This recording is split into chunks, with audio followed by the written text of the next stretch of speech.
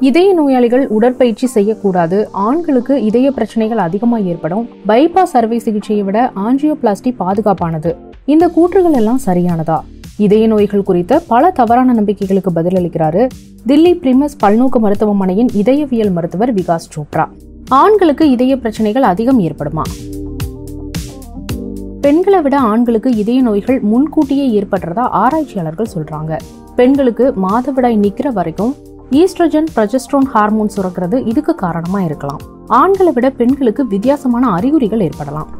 இருந்தாலும் ஆண்களுக்கும் சரி பெண்களுக்கும் சரி மரணத்திற்கு இதய நோய் முக்கிய காரணமாக இருக்குது. ரெண்டு தரப்புலையும் சரிசமமான பாதிப்பு இருக்கிறதால விழிப்புணர்வோட இருக்கணும். இதய நோயாளிகள் உடற்பயிற்சி செய்யலாமா? இதய நோயாளிகளுக்கு உடற்பயிற்சி அவசியம். மருத்துவர்களோட அறிவுரைப்படி உடற்பயிற்சி செய்கிறது இதய ஆரோக்கியத்தை மேம்படுத்தும். உடற்பயிற்சி செய்யறதுனால நெஞ்சுவலி மாரடைப்பு ஏற்படும்னு சொல்றது தவறு. அதுக்கான வாய்ப்பு ரொம்பவே கம்மின்னு யூரோப்பியன் சொசைட்டி ஆஃப் கார்டியாலஜி சொல்லுது.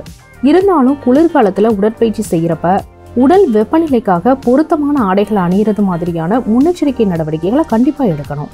இதய நோயாளிகள் உணவில் கொழுப்பு இருக்க வேண்டுமா? இதய நோயாளிகள் நிறைவுற்ற கொழுப்புகள் பகுதியளவு ஹைட்ரஜனேற்ற கொழுப்புகள் டிரான்ஸ் கொழுப்புகள் இருக்கிற உணவுகளை குறைக்கணும். எல்லா கொழுப்புகளும் கேடு விளைவிக்கக்கூடியது கிடையாது.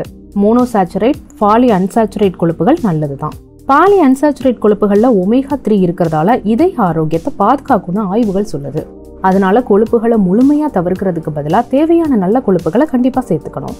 புகைப்பழக்கத்தை நிறுத்தினால் இதய நோய் அபாயம் குறையுமா?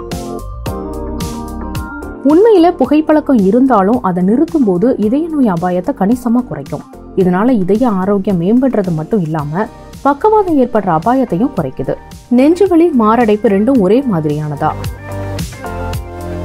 நெஞ்சுவலி மாரடைப்பு இரண்டும் வெவ்வேறானது.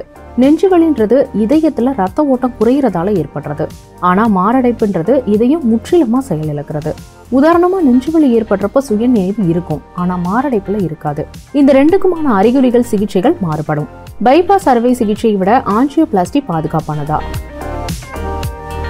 ஆஞ்சியோபிளாஸ்டி பைபாஸ் அறுவை சிகிச்சையோட பாதுகாப்பு அப்படின்றது ஒவ்வொரு நோயாளிகளை பொறுத்தது.